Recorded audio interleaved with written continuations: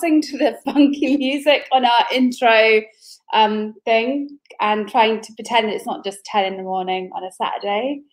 And we should be having brunch somewhere, right? Probably, yes. Nice sourdough, eggs, spinach. Whew, really? Marmite, yes. Um, Yes. So, uh, some you will uh, probably all know that I'm Laura from Club Soda. I'm the founder of Club Soda. This is Ali. For those of you who may not have met Ali, Ali is actually one of our volunteer admins in um, Club Soda. Oh, my things are going off. But anyway, um, is I know one of our admins in Club Soda. So rather than me doing, and I've done this before, I've done a piece to camera telling you how I changed my drinking. I thought it'd be great for Ali to ask the questions today because then she might ask more complicated questions about my drinking habits, what happened to me, rather than me just giving you my potted version. I'm very good at giving a potted version because I'm I'm not I'm not a storyteller. I go straight to the end. straight to the end, straight to the point. Yeah. Um, yeah, so I've been a member of Club Soda since I think it's five years October. It's five years this month. Um, so yeah, And you and you'll you'll be alcohol free. How long? I'm four and a half years alcohol free years. now. Actually, I I'm looking forward to my five year. Looking forward to five year anniversary. Yeah. Um, Ali Ali's stories in our book actually. So if you haven't seen that book, I used to know exactly what page number it was, but I think I've forgotten. It might be about the 204 mark. cool. Possibly. Possibly. So, I mean, you're coming up nine and a half years now. So it'll be 10 years next year. So tell us how it started and, and what was behind you deciding to go alcohol free. Uh, well, I'm not sure if this was the same for you, but I I knew I was drinking too much for ages and ages and ages. Mm. And actually, when I was 30, my dad died um, of of alcohol. Uh, his his liver went, his um, internal organs went. He was never rolling in the gutter drunk, although his drinking clearly had gone up in recent years. And I just know I'm my father's daughter, right? I just know it. And I just knew that my drinking was very much similar to his, very social, about being out, talking to people. Um, I knew I was drinking too much. I enjoyed it too much. Um, and I did that thing that when you're in a bit of a panic, you do. So this is when I was 30. I went and had a liver test. I went to Bupa and had all the tests All of the tests. um, uh, as a, I decided this would be a wake up call. And I would go and have all the tests. And I had all the tests, and And? Uh, and they told me my liver was fine. Which, of course, I now realise a liver function test generally does tell you because you your liver has to be.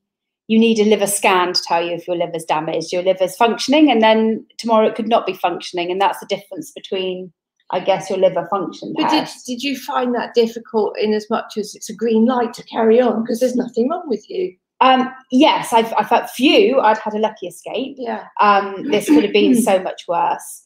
Um, and also, but also, I was 30, and though I knew, I, I it still felt like I knew I had to give up at some point, Yeah. but I wasn't ready to give up at that point. But the problem actually was is that my drinking went up between 30 and 38 when I gave up drinking Mhm. Uh, for a variety of reasons, really. One is I thought uh, I probably knew that at some point I'd have to give up, so I was drinking all the alcohol as if somehow it was an in limited supply, li- like petrol, basically. Yeah, yeah. I was, I, up in I was. I was continually topping up because I knew at some point it would have to stop deep down, Yeah. and also because I ended up in some unhappy jobs and things that affected my mental health, and I only had one strategy to deal with every emotion from the age of fourteen, and that, And was, drinking. Yeah, yeah, I think that's quite common. Certainly, something that resonates with my experiences as well. So, you you would say your discomfort with the amount you were drinking, you had your happiness with the drinking, and then one was starting. The discomfort was starting to take over. Yeah, I think the discomfort took over um, when I started doing really stupid things with drinking. Like I, I was in a, I was in, uh, I was drinking every other night rather than just um, sporadically during the week. Mm-hmm. I was never able to drink on a hangover. Um, I was also, it felt like, um, because I was in a job I didn't enjoy. Yeah. It really, I've always been very identified with the job that I do. It's a real big part of my identity. And to be in a job that I wasn't enjoying, when nobody cared if I turned up, which I have to tell you, everybody, sounds blissful. Oh, look, there's a job, and nobody nobody know cares if you're there or not. I can tell you, it absolutely destroyed me. Mm. And um, and it meant I could go drinking at lunchtime. It meant I could go drinking in the evening and yeah. and just stay in bed hungover. Um, and it became a bit like I was trying to push the envelope and seeing who would notice or if anybody noticed and how far I could push it while still basically function. It became yeah. feeling like a an extreme sport. Mm-hmm. Um, but all the while, I was medicating an unhappiness and a feeling of being trapped in something that I didn't want to be in, really. Which sounds like really, really hard work because if you feel that you can't get out of something. Yeah, yeah, and then that's a self-perpetuating cycle, isn't Absolutely. it? Oh, this job's making me miserable. Um, I, I'm, I'm just going to drink, but if I carry on drinking, I can't get out of this job, and you end up on that cycle. And I've I've heard you say quite a number of times now that you were drinking like a dickhead. Um, so my question is, how much of a dickhead were you being? So uh, yes, uh, I always describe my drinking as dickhead drinking. Um, so um, and that's because I wasn't a dependent drinker. I wasn't drinking in the morning. I wasn't drinking every day. But that doesn't somehow make me better than somebody who was mm. drinking every day. Um, uh, we spend a lot of time trying to compare, particularly when we start changing our drinking. We like to compare ourselves so we can try and work out, well, at least I wasn't that bad. Or you go, oh shit, I must be really bad compared to that person who's here trying to change their drinking as well. We spend a lot of time doing comparison, which isn't necessarily politi- uh, particularly helpful. Um, so I I don't want to explain my drinking as a way for other people to go, well, that's okay, I wasn't drinking that much, or uh, oh my god, I'm drinking more, and therefore there must yeah. be a problem. Because at the end of the day, the problem is in you. If, if it's affecting you, if you're worried about it, if you're here at this festival, then alcohol's affecting you in a way that you're not happy with. And I really think that that's the important thing. But I was, I basically had a really bad hangover every other day. And then the days I didn't have a hangover, I was like, oh, I'm feeling, oh, I'm feeling good now, and I need to treat myself. It's been a stressful day, and I'm happy. I need something to drink, and so I was on this continual cycle of misery, misery, misery with a hangover, and then oh, let's pep up my mood. It was, and then um, and a that, downward cycle, and then an upward cycle. So was, uh, I describe my drinking as a bit like this, this strange curvy thing, and and then I actually got to the point where at some weekends near the end, I ended up drinking the whole weekend that's quite harsh. I mean, when when you've, I mean, you, you've talked about not having that accountability at work where you could just kind of coast along and, and be hungover or go out drinking. To then feel that your weekend is like that as well, it must have made you feel quite flat. Yeah, there was a weekend where I went, the rugby was on in some strange country, which meant the pubs were open at 9 a.m. And I went to watch with my brother and I had a lovely time watching the rugby with him. And we both opened up because we were both drinking um, mm-hmm. a lot. We both opened up about our dad, irony. And um, but I didn't really stop that weekend. By the Monday, I was shaking and I was really, really frightened. Yeah. So. And that that's a really difficult thing to, to deal with, particularly if you feel like you're struggling with that on your own. Did you find that you found it easy to reach out and find support with your with stopping? No. Um, I think no, I, I'm surrounded largely by people who drank quite a lot, although my closest mm. friend didn't, but nobody nobody was telling me anything. Yeah. Um, I knew there was an issue myself. Um, and you know when people talk about rock bottom, I don't believe mm. there's a rock bottom. There's a whole series of things that happen over time that take yeah. you to the place you are, and and they're you know they can be small things like um, I, I, always talk about the fact that I went to watch a piece of theatre that I desperately wanted to see, and it was the most amazing piece of theatre I'd ever seen. But I did sit and watch it with a hangover and really, mm. really felt so upset with myself that I had not been able to engage totally with something I'd really wanted to see. And I got a cat about the year before I gave up drinking, which might seem quite insignificant, but the look on that kitten's face when I breathed alcoholic fumes over it made me feel really guilty. Um, yeah. But also gave me he gave me some companionship and other things as well. So um, and then you know I there was something else that happened. Oh yes, mm-hmm. I broke my ankle on oh, Tower well Bridge. Well I don't know how I forgot that, and I keep thinking that was quite a long time before I gave up drinking, but actually it wasn't that long right. before. I did it just before Christmas in 2011, and I gave mm-hmm. up in um, May 2012. So yeah. actually, I keep thinking there was about a year or maybe It's there not- was, but, well, it's about six months. About six months, or maybe Yeah. I did it the year before. But either way, again, the fact that I didn't, I, I woke up, it was really weird. I woke up this sensation of falling as if I was still in the middle of the fall, Hmm. and then thought, oh, that's weird, and stood up and couldn't stand on my leg, and So thought, you'd gone out, broken your ankle whilst you were out, got home, gone to bed, gone to sleep, woke up the next morning, and then realised you'd oh no, that's not all I had done. I had also got out of a taxi Yeah. with probably a broken leg, um, got to the cash point, got back in the taxi, Okay. or I Yeah. or I fell getting back into the taxi. God knows. But anyway, um, Yeah. and I always uh, and I don't remember any of that. And I, I also, you know, when you give you tell yourselves all sorts of lies when you're drinking. I used to go, well, at least I don't black out because to me, blackout was passing out.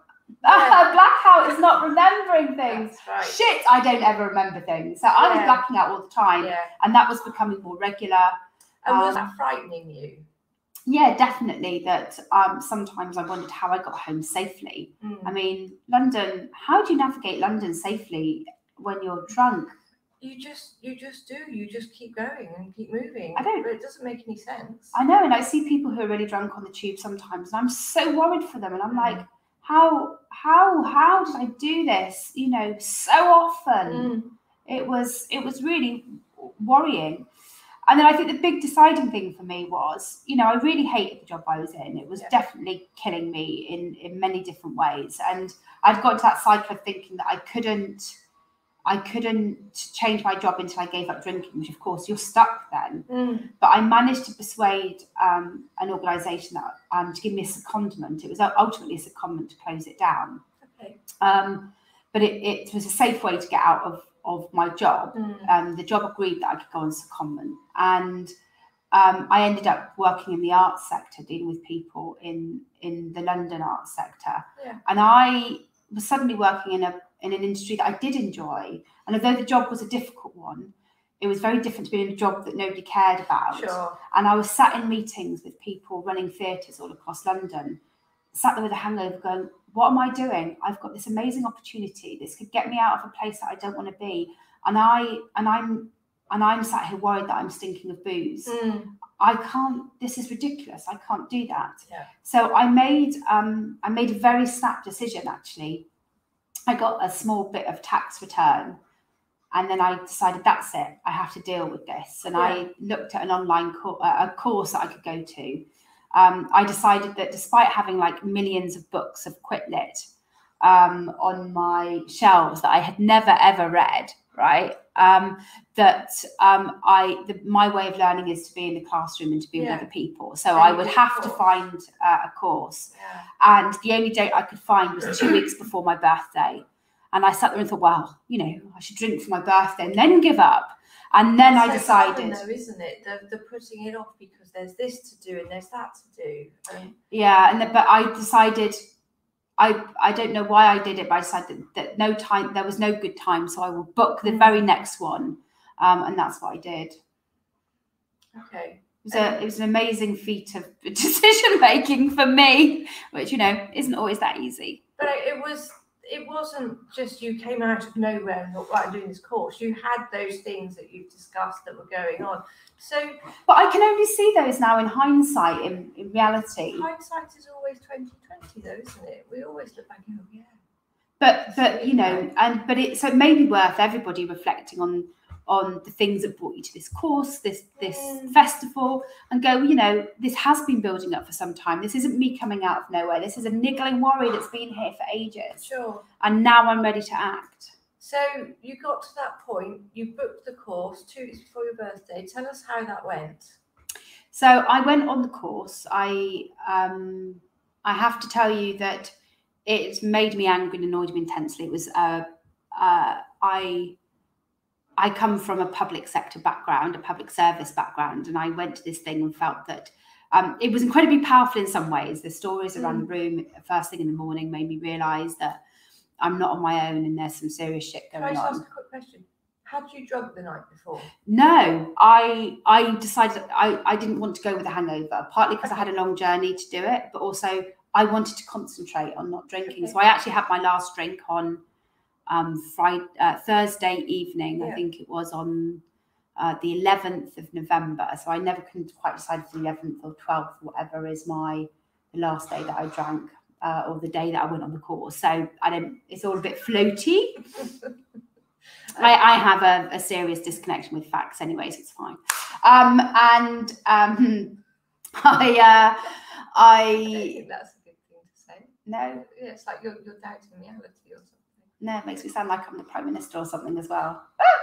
um, so um, I don't really like that, but I, you know, I, I, I don't worry too much about whether it's so the 11th, the 11th or the 12th, and yeah, maybe the 13th or whatever, whatever. It's the 13th. I think it's the 11th. I think it's the 11th. It's yeah. the 11th. We decided it's the 11th. I had my, I went out, I went to the theatre with a friend. I had a drink afterwards in the pub. Yeah. Um, with them, I got quite drunk. I woke up on the Friday and knew that I couldn't drink again because I was going on this course on yeah. Saturday. I went to the course. I listened to the other stories around the room, which affected me deeply, um, and then continued to be angry for the whole of the course because I had just heard people in the room who um, had a real big issue with drinking, yeah. um, as I did. But some people that were dependent drinkers, some people have been told by their doctors if they didn't stop today that they would die and things like that.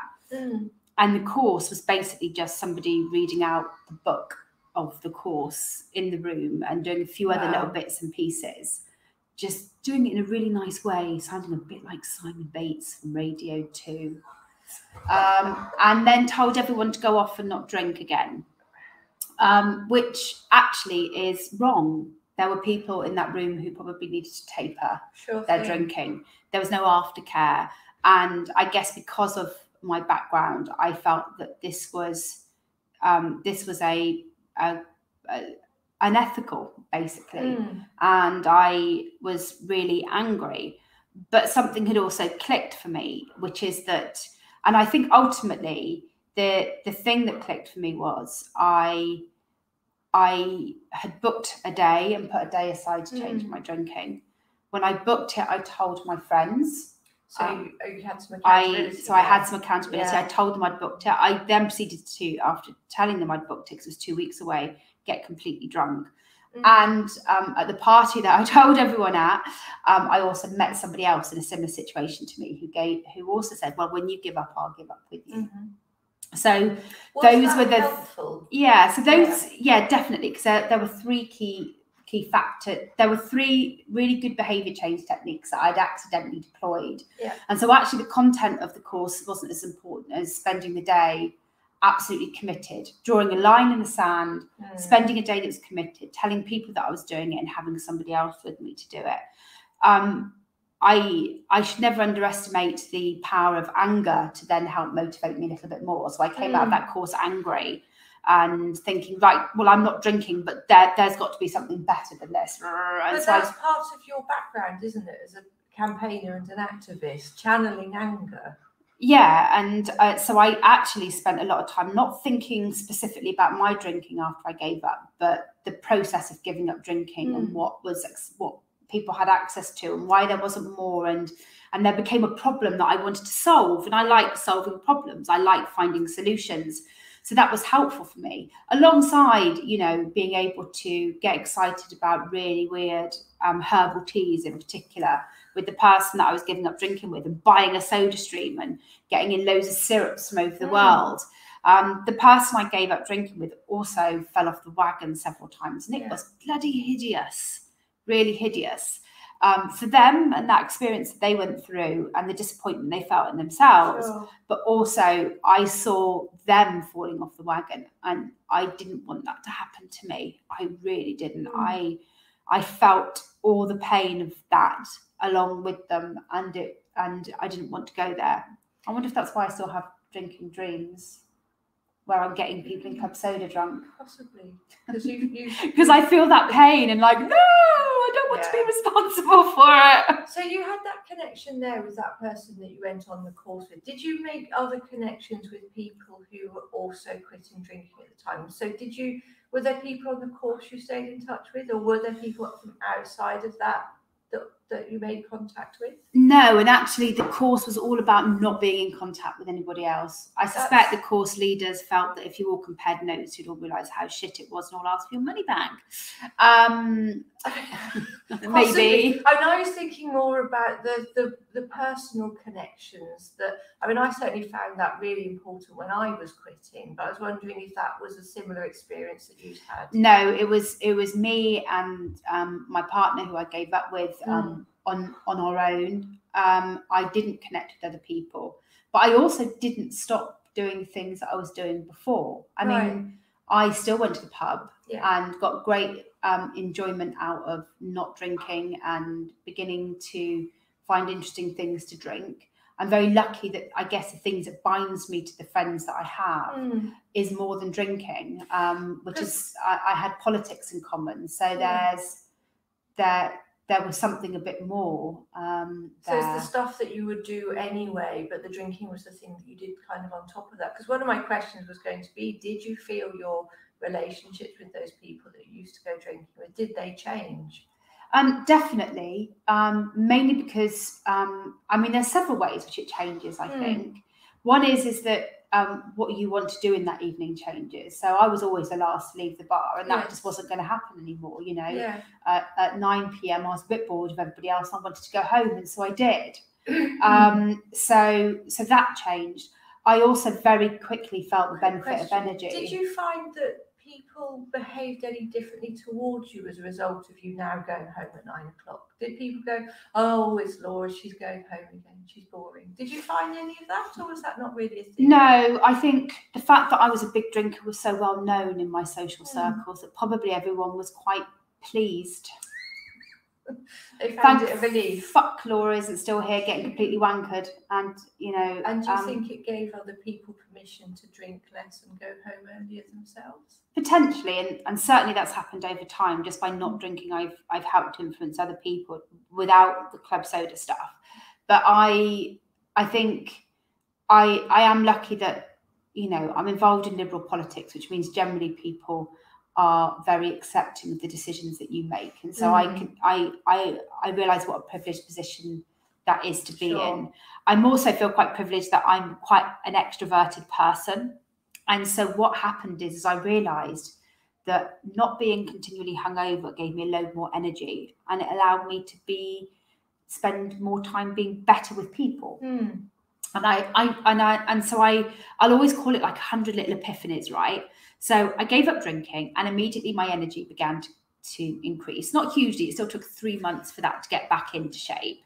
Um, my face got less puffy Yeah. um, and suddenly hours in the day opened up. So I I suddenly had a lot more time, and I was I was quite intoxicated by that idea of this time and this energy that was suddenly Yeah. coming that I could do things. And for me, that was really exciting. It was a feeling that I was really enjoying. Hmm. So in the so in the early days, it was easy to carry on because I was I was, I was and I still am actually when I go to sleep at night now, quite excited about what tomorrow might bring. Sometimes I've got a bit of anxiety because I'm really unsure and uncertain and, and things might not be going to plan. But generally I go to sleep thinking tomorrow's a new day and I will have the energy to tackle it. Hmm. Whereas I used to go to bed and watch TV until I couldn't keep my eyes open anymore Yeah. alternating between the fact that oh there's more tv left so i need to get more wine or i've got more wine left so i need to watch more tv Sure. and Yeah. then and then go into a slumber where i was really not looking forward to the following day Yeah. so i was intoxicated by that energy and that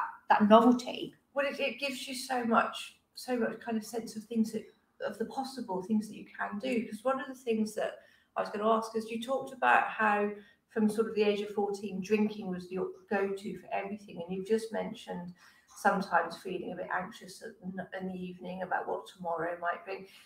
Did you find it quite easy to start adjusting your responses to feelings as you gave up drinking? And how did you start managing things like, for instance, anxiety?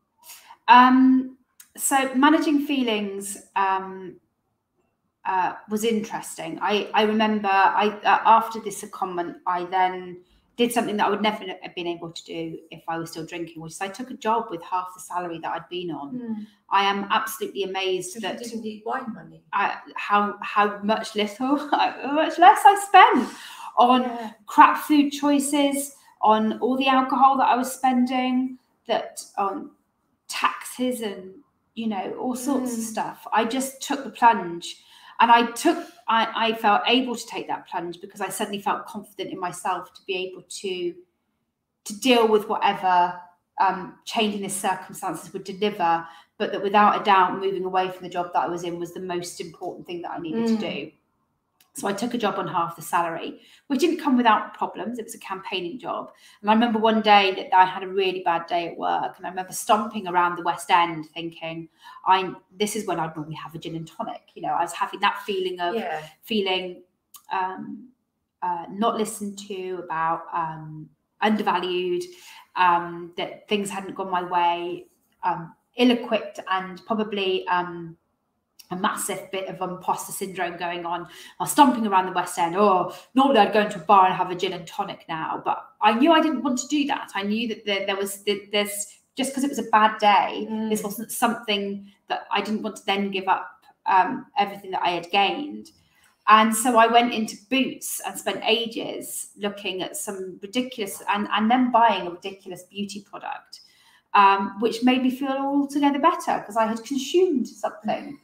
I then took it back the next day and got a refund. Well done. Yeah. Um, it was a, it was one of those ridiculous skin tonics that you drink that has um, all of the good antioxidants that red wine has Perfect. uh, yes. put in it, and then you'd have a spoonful every day, like I would have a spoonful every day. You know, um, if it's not got alcohol in your compulsion to want to drink that stuff, and I don't think it's sold anymore. But anyway, but I, you know, I had dealt with that feeling. But all of those things that you've mentioned, those feelings that you're having, if you could back them up into a ball, you'd just call them discomfort.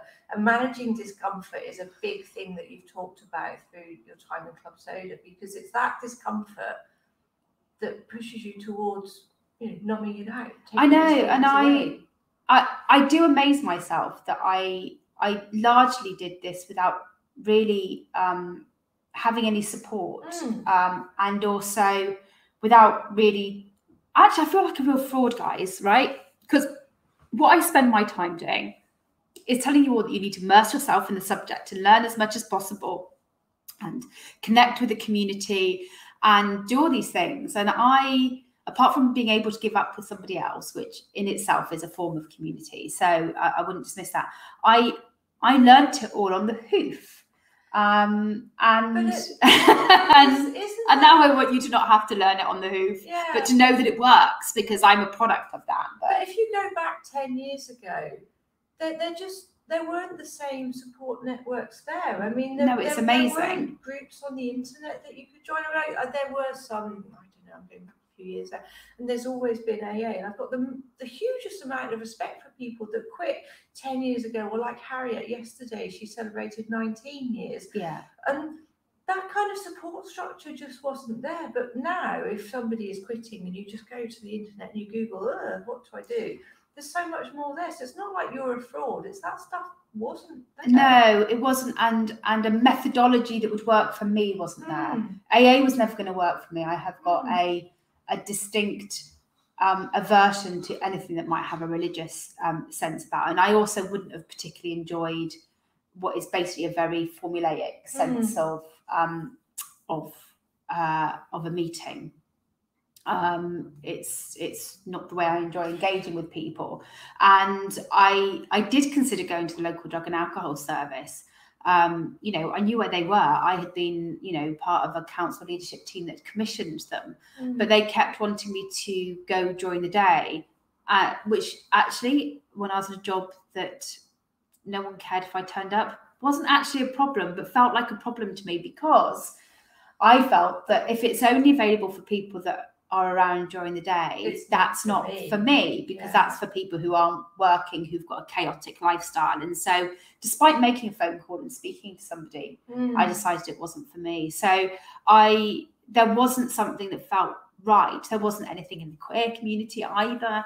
So um, yeah, there, there didn't um, you know uh, there wasn't anything that uh, probably appealed to my overinflated sense of self. I mean, that's certainly one way to put it. I mean, when when kind of, I think back to when I first met you. That was just as you were celebrating five years sober, and I was celebrating a month. So! I know. I mean, it felt it felt massive, and I was looking at you thinking five years. I mean, but now, what do you think has changed between five years and coming up ten? So we, so in that five years, six years of those have been running Mm. Club Soda. Six years since we launched, seven years since I've been working on it. Actually, I spent a Mm. whole year in business um, development things, uh, projects that Yeah. I, that supported me to set up Club Soda, and a huge amount has happened. If I now wanted, I I would have probably. There are more Facebook groups, for example. Facebook groups are quite new, I They're think. Um, and so I would have looked at Facebook groups and I would have um, I would have gone on Instagram, although I don't particularly like those mediums as a whole. Mm. Um, if I think now, I I look at those things when it comes to running, walking, swimming. yeah, So I so I do dip into things that are swimming. I do dip into those things um, that that that's, that help me connect with communities or find information about what I want. So I would have certainly have gone there, Yeah. and it would have really given me a lot of confidence to see people like me, um, people in my age range. So I was in that, um, you know, that ladette generation, that woman now in my late forties who drank far too much wine to be able to see some of that and that wasn't there before. Um, and so that that's definitely been a big change.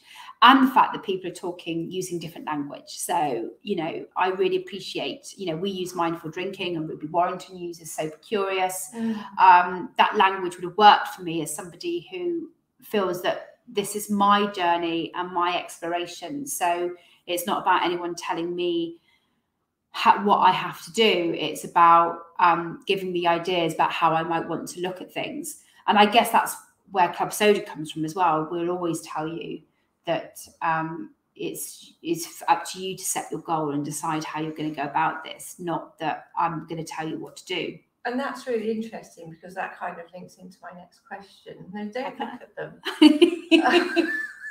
and it's it's around moderating because you've been alcohol free. Has there ever been a point where you thought you might have wanted to moderate, or you you might consider that? And, and you know, what what is it for you that that makes makes it work being alcohol free? I think um, I do sometimes think, well, maybe I should try moderation.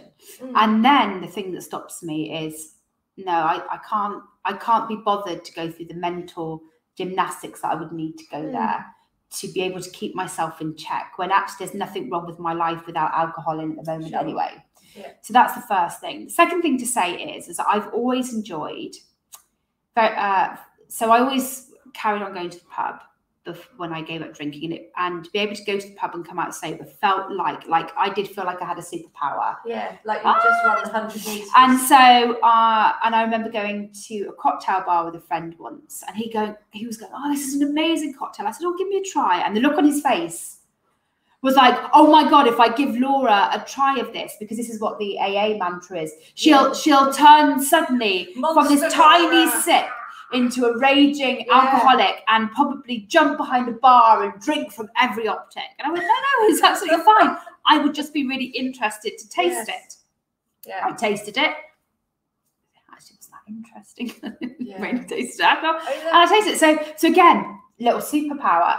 And then I, I'll now, I always have a boozy dessert, right? I know some people would not go near it, but I, I'd have a boozy dessert and, I know that, you know, I, I, you know, it's added to a dessert. But so I have these little, I guess, these little things that I might, I, I would, the lines that I wouldn't cross, but things that I do. But that- like those kind of secret wins that are in there as They well. do every time it happens. Every time I have a boozy de- dessert and go away and think, or put alcohol in my cooking or things like that, I go away thinking, ah, I can, you know, there's alcohol in this house. There Yeah. somehow there always is because we end up going to trade shows and used to would always pick Mm. up these tiny bottles of rum and they sit here for days and days, well, weeks and weeks and potentially years and years because he his drinking is like so sporadic. yeah. I then in the end use them in cooking because I'm bored of them And cake. taking up and cake and I'm Yeah. bored of seeing and I when I rejar all of my pulses I I want to have the tidy cupboard and they are in the Yeah. way so that's Sure. what happens with those I mean that that horror thing happened to me recently when I, I had a bottle of the zero percent Gordon's. I got out of the fridge and I was making a drink. My dad went, "That's Gordon's." I'm like, "No, it's zero. It's mine." And yeah, it's quite strange. I mean, do you think that people's attitudes about non-drinkers because there used to be quite a lot of, "Oh, you're a non-drinker." Ooh. Do you think that's changed? Yeah, yes, definitely, because um, suddenly everyone's seen these drinks Mm. that they assume for non-drinkers, but actually the biggest purchasers of alcohol for drinks are people who also drink alcohol. They're using Mm. it as a moderation tool. Mm. But people see these drinks and it suddenly creates an acceptability. And I think that's quite important. And, you know, for me, supporting you in your choice to moderate is actually also really important because a it's not my business to tell you the goal that you should set for yourself Mhm. you can only set yourself the goal that you're ready to see yourself in right Yeah. now and i went through lots of attempts to moderate they were all just involved going i'm never going to drink again or i'm going to drink less this week and it didn't get much further than that but i'm not sure about you you must have very very similar things Yeah. like I, I i should do this i must do this but i had no tools i had no i had no Yeah. way of conceptualizing So if people come to Club Soda and at the minute they're in the mindset of I need to look at moderating, then that's Mhm. fine. I don't want the people to go away because they feel that this is about abstinence only. And the minute A you fall off the wagon or B you you you've got a slightly different goal because most people's goals in Club Soda and the people who are on on at the festival is a lot more uncertain. I'd rather you were here learning as you went along and then make the decision that's right for you. but that's also partly around the, the language change that we've seen and we've got grey area drinking and not seeing things as black and white Yeah. and good and bad and there is actually a, a whole place in the middle where it's completely fine to be Yeah, I always find it difficult that people would say, "Well, it's your journey," but really, abstinence is the only way. Um, Yes. I, I, without a doubt, I want to save as many of you as possible from the pain that I went through, and I would love to tell you that alcohol, and so therefore you should go alcohol free and you should do it immediately. But that's not how that works. Me telling you what to do isn't going to work, Mhm. and I can only share with you my experience and why alcohol free is my preference and it works for me. yeah um so if you And you'd all be pissed off if I drank again, right? I've got, kept, you know, I didn't necessarily have much accountability when I first gave up, but you know, there are sixty thousand people now keeping me accountable, and I, you'd all be pissed off, right? slightly and like you wouldn't show up to go swimming in the docks and things like that and You would only be slightly pissed off, would you? a little bit more and if I didn't turn up at the docks as well, Well, I So- just I just go and have a coffee, and I'd be quite dry and warm. so, um, I mean, do, do you think that you've changed as a person as a result of quitting drinking, or do you think you're still the same Laura but better? I certainly I often tell people that um I I was always a pain in the ass and uh, Hmm. now I'm a more effective pain in the ass. So that's More targeted, possibly. um, I've got more energy. Uh, campaigning takes energy, and Mm. and and that. And I, when I first gave up, I used to say very much that I felt like the person I was when I moved to London when I was twenty. I still feel that way. I still the energy that I have is still that energy. Yeah. Um, in my thirties, that's not the energy I had. I had the energy of somebody who was giving up on life. Sure. Um, so um, so that there's lots that I've refound and regained, um, and my ability to focus and concentrate. Um, uh, I guess I, I know that might sound surprising to you, I wasn't going to say anything about that. I but I do focus and concentrate more. Um, but also, um, so but you know, be able to think through things whenever. When I was hungover, I used to continually park things because I didn't have the brain Yeah. capacity to deal with them, and now I don't park them in the same way. And also, I'm getting older, so hard. You know what? What is about me being sober, and what is about me getting older and wiser? I guess I mm. wouldn't have got older and wiser in this way if I hadn't have given up drinking. So everything I do now comes from what is basically a solid base of sobriety. Yeah. Yeah. So if you could go back in a TARDIS to Could I? Uh, I mean, it's an if. I it's a big if. I know you do. I desperately do. But if you could, what would what's the one key piece of advice you take back to thirty-eight-year-old Laura? Um, I'd say that uh, you will get to live the life that you want. Hmm. Um, you will stop feeling embarrassed and shamed and guilty.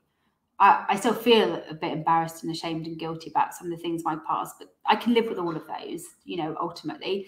Um, but I don't spend every day feeling utter dismay at myself. Mm. And that feeling on its own is amazing. And and also that I would gain all the energy I need to get things done. Um, I think energy is quite important to me in how I perceive my days and getting and getting through days and getting things done. Mm. Um, and that all of that would be possible. That thing that you thought you could do when you were 20 and that you would be when you grow up is all there. You just took a, a an eight nine year break from it, and and you know now I'm playing catch up. Do you feel like you're playing catch up? Or do you feel like you're in the right place doing the right things that you need to do? Well, it's a mix. It's a mix of things. I was so sure what I wanted when I was 20, Isn't yeah, I um, mean, and isn't it? I know, and and and I I'm know. going to do these things, and then I think I'd rather, rather than my 38 year old self who had Yeah. actually made a decision to change something, it's about what I would tell my 22 year old self who moved to London, yeah, which is that this city is far much easier to manage and enjoy um, if you were able to keep um, alcohol in check. yeah, Um, but then saying that, I've had some great, you know, that being young in London and drinking in the evenings, you know, there were some amazing times. And I don't ever want to say that alcohol never had any joy because it did. That's why most of us drink. And yeah, um, but but you know, we, we all we all want to know when it the line the line would be where we were where we knew we had to where we really should have stopped. And That that line- magic that ma- the line a bit closer. Yeah. yeah, yeah, uh, Yeah. wouldn't we all like that? And I guess that's that's, not the way it works. that's hindsight being useless again. Yeah. Yeah, I want hindsight. Or a TARDIS. I know, but I've I've tried. I've been on the phone to the BBC and they're busy. No. Titus is out. Um, so, if there was one thing you could change about about the whole of like alcohol, low and no, where everything is now, if there's one thing that you could immediately change that you think would make the world better around how we conceptualize drinking, how um, drinking is viewed by other people, how not drinking is viewed, if there's one thing that you could change, what would it be? Respect. Oh, R-E-S-P. Carry on. No. no. Um, the reason why I say that, and and I guess it it bleeds into everything we do as a society at the moment as well, Yeah. which is respecting other people's choices makes it easier for people to keep the things that are good for them. Yeah. Now that might be about um, your um, mental health and respecting people's difference in mental health or or their difference as a person Yeah. or around neurodiversity and all those things. It's respecting people in terms of um, sexual consent and and all of those sorts of things. They're important too.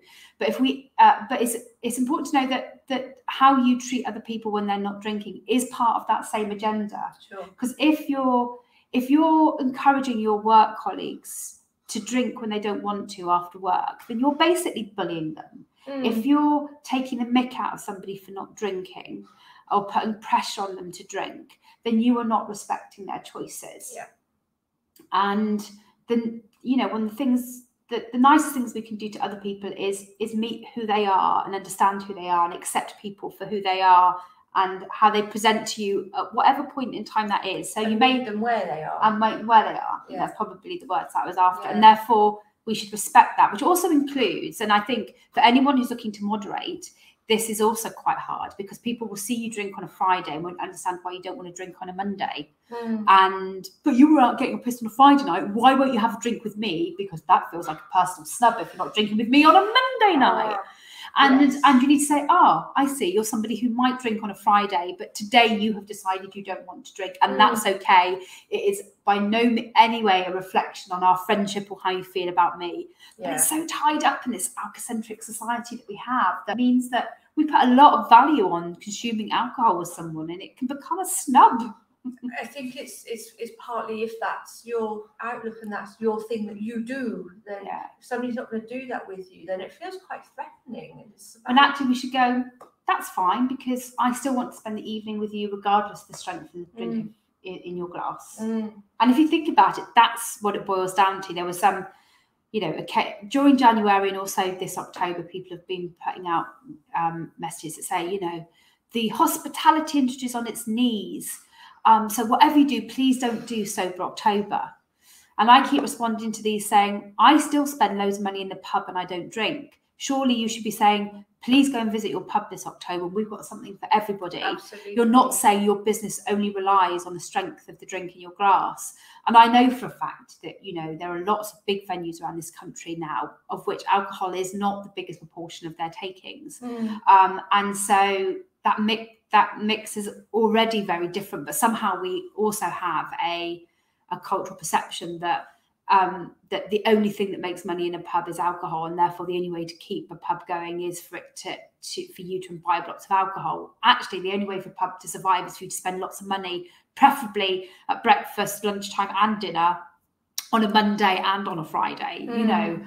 And if that means that you go and do what I do, which is you have a couple of alcohol-free beers and you will have a dessert, whereas the other person next to you might have three alcoholic beers and only a main course, then that's fine.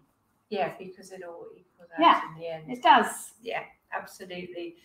So I've got a couple of questions from the community now. Have you? Yes, I have. So this one is from Banjo in Enfield, and he wants to know that do you feel your connections to people? Stop looking at the questions. You're not supposed to get prior All knowledge of these. I'm Do you not feel looking. that your connections to people have changed as a result of quitting drinking? Yeah, when I um I always felt I was a people person, and that's Yeah. quite important because um I was involved in politics from a young age, Hmm. and I used to go to the pub with um lots of boys who'd been to private school, and they would know the name of every prime minister from 1800s onwards. And I used to sit in those discussions around deep policy and political history and go, fuck, fuck, I can't do this. I don't know all of this stuff. I can't possibly do politics. Hmm. And then I realised how awkward they are when they met um, people in a council estate or had to do casework. And those things were my forte. I could see, I could help people with their problems and I could see how those problems could translate into policy change. And then as my drinking progressed, I began to think that I had been lying to myself about this fact because I would have found sat here now holding eye contact with you and having a Yeah. conversation of full sentences when I was hungover Yes. excruciating. I'd have been I'd have been spending my time thinking, I need to get through today because I've got hang on, I need to get through today, I need to get through Yeah. today. And of course any conversation I had when I was drinking just disappeared into some ether Hmm. of forgetting. So I, I began to think that I was this this thing that I felt was my thing, the thing that I was good at, wasn't um, something that I was good at at all. Yeah. And so very quickly, again, it was one of the quick wins that you don't necessarily think about. Hmm. I started having micro interactions with people on the tube. I love talking to people on the tube and things like that. And they made me really happy. Yeah. Um, and I hadn't had those for ages because normally I was just trying to get somewhere, trying to get through the day. Yeah. Um, and so, yes, I realised that I was a people person, and the thing that robbed me of that was alcohol. Mm. Yeah, that's a really interesting one to hear that that whole improvement is there Yeah. because you can you're not in your internal world of pain. This your head hurts and am I sweating? Do I think of alcohol and how am I going to get to everywhere? So that's a really important one. And then another question is they're all from London at the moment. So this is Dave in Walthamstow and he wants to know if there is any one thing you feel you're better at since you've given up drinking. Um, hmm.